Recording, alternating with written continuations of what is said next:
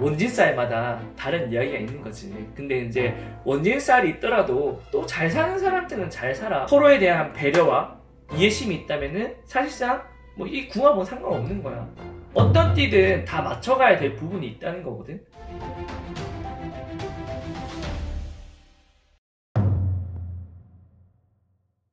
오늘 가지고 온 주제는 음. 바로 살에 대한 이야기입니다. 음, 살. 네. 그러니까 그 사주에서 뭐 이렇게 살 무슨 뭐 도화살, 뭐 백호살, 개각살 뭐 그런 거 이야기하는 네. 네, 네.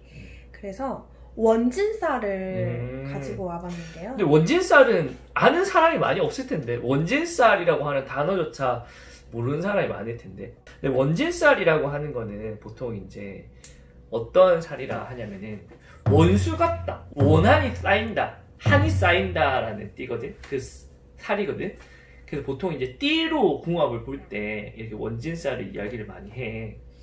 근데 원진쌀을 한마디로 정리를 하면 애증의 관계야 애증의 관계. 그러니까 더 어떻게 보면은 궁합이 좋다고도 할 수도 있고 어떠한 원진살이냐에 따라 안 좋다라고도 할 수도 있어 상황에 따라서 보고 있으면은 상대방을 보고 있으면 짜증이 나.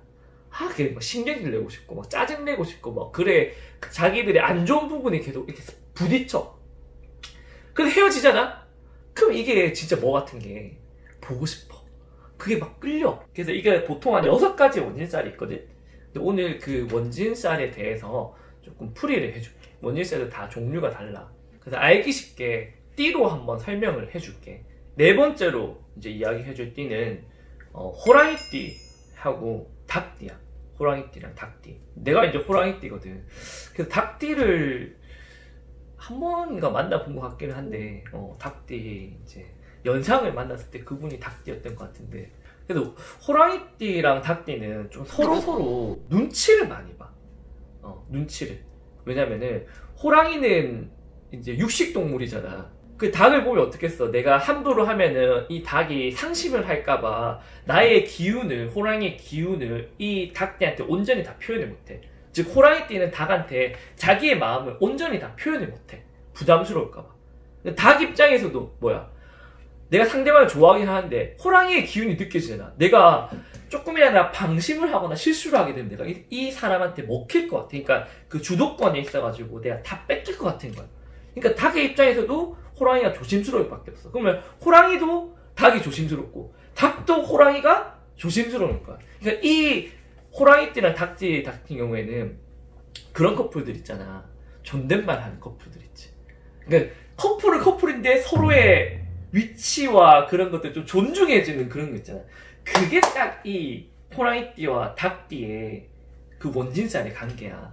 뭐 겉으로 보기에는 어, 서로 존중해주니까 좋겠다 하는데 나중에 들어가 보면 뭐냐면은 이런 말 한다니까. 술 한잔 하면은 너는 나를 잘 몰라. 이런 말을 한다고. 내가 무슨 마음 갖고 있는지 넌 잘 몰라. 나한테 관심이 없어. 난 네가 불편해. 이런 거 있잖아. 그런 띠가 이 호랑이띠와 닭띠야. 이게 친해지기가 힘든 거지.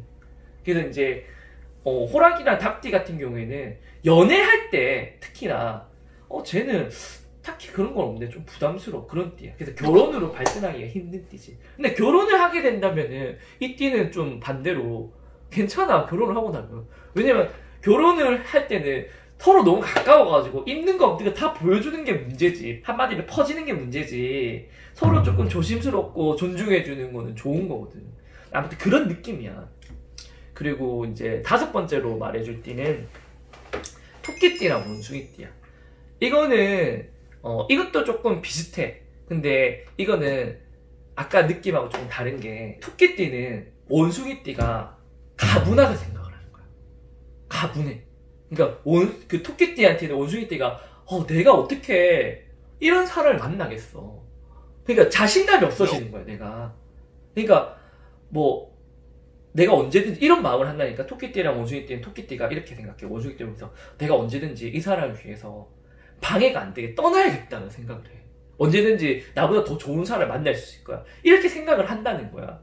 근데 원숭이띠 입장에서도 토끼띠를 다 바라볼 때는 원숭이띠 입장에서는 내가 이걸 다 표현했을 때 얘가 감당할까? 좀 이런 고민을 하게 돼. 그러니까 서로 서로 위치에 있어가지고 그런 느낌이 많은 거야.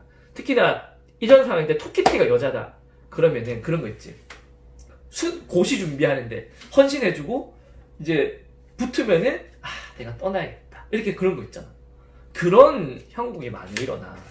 그러니까 이 띠 같은 경우에는 이 토끼띠가 좀 자존감을 많이 높이는 게 중요하지. 근데 이게 안 된다 하면은 이 띠는 어, 서로 서로를 배려심이 너무 많기 때문에 깊이 가까워지기가 힘들다. 그렇게 생각하면 될 것 같아. 그러니까 좀 토끼띠를 많이 위로를 해줘야겠지. 음. 그리고 마지막으로 이야기해줄 띠는 뱀띠랑 개띠야. 뱀띠랑 개띠는 참 이게 좀 싸우는 그런 게 많을 거야. 주변에 뱀띠랑 개띠 커플 보면은 맨날 싸워. 뱀띠가 하는 말은 이거야. 어, 내가 너한테 해준 게 얼마인데. 약간 그 돼지띠랑 용띠 있지. 그거랑 비슷한 느낌이야. 근데 돼지띠랑 용띠는 과한 게 문제잖아? 근데 얘들은 과한 게 무자, 문제가 아니라 모자란 게 문제야. 뱀띠가 별거 해준 거 없으면서 생색을 많이 내. 야, 내가 이거 하나 일 해줬고, 이거를 계속 우려먹는 거 있잖아. 내가 그때 기념일에 너한테 해준 반지가 얼마인데. 계속 이야기하는 거야, 뱀띠가. 그, 개띠 입장에서 뭐야. 고작 저거 해줬고서는, 어? 뱀띠 입장에서 그게 만족이 안 되는 거야. 그, 그거 하나고 계속 울고 먹는 거지. 그러니까 서로 서로 이제 티격태격 하는 게 굉장히 많아. 해주는 건 없습니다. 서로 서로 해주는 건 없습니다. 또 갭띠 입장에서도 맨날 받으려고만 한다? 뱀띠한테? 지가 해주려고 생각은 안 해. 맨날 받을 건 받기만 받아놓고서는 너는 왜 이거밖에 안 해줬으면서 나한테 큰 소리 치냐 이렇게 싸우는 사람들 있지. 이 개띠랑 뱀띠의 원진살의 관계야.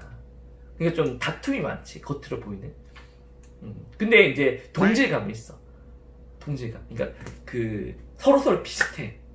그러니까 아, 니캉 내캉 뭐 나중에 하는 말이 뭐냐면 그래 뭐 니나 내나 뭐 같은 처지인데 누가 누굴 뭐라 하겠어. 좋을 때는 이렇게 하는데 또 싸울 때는 네가 나한테 해줄 게 뭔데 이거 해놓고 내 평생 우려먹고 어? 코 끼었네 만에 이런 이야기를 하는 거야. 그러니까 이제 이런 이제 원진쌀마다 다른 이야기가 있는 거지. 근데 이제 원진쌀이 있더라도 또 잘 사는 사람들은 잘 살아 마무리를 해주자면. 근데 이제 본인이 원하는 연애 스타일이 있을 거 아니야? 가치관이 다르고. 그럴 때는 요런 띠는 자기가 해당되는 원진쌀이 있을 때는 내 가치관과 맞으면은 원진쌀을 뭐 만나도 아까 말했잖아. 긍정적인 부분도 있다고 괜찮지만 조금 피해야 되는 부분이 있을 때는 조금 잘 감안을 해가지고 어, 이쁜 사랑을 하는 게 좋다는 거지. 근데 내가 궁합에서도 그런 말을 항상 할 거야. 서로에 대한 배려와 이해심이 있다면은 사실상 뭐 이 궁합은 상관없는 거야. 어떤 띠든 다 맞춰가야 될 부분이 있다는 거거든. 그러니까 그런 거 생각하지 말고 좋은 배우자 만나가지고 이쁜 사랑과 연애, 결혼까지 하기를 어, 바라는 바야 하늘 두려움. 알겠지? 그러니까 너도 아픔이 많잖아. 아, 그 얘기가 갑자기 여기서 왜 나와요? 아픔이 많으니까 내가 너도 적용을 해가지고 네가 집띠니까 네. 웬만하면 너는 이제 양띠는 피하라 이 말이지. 저도 좀 만나고 싶은데. 아, 너는 양띠. 지금 만날 때가. 알겠지?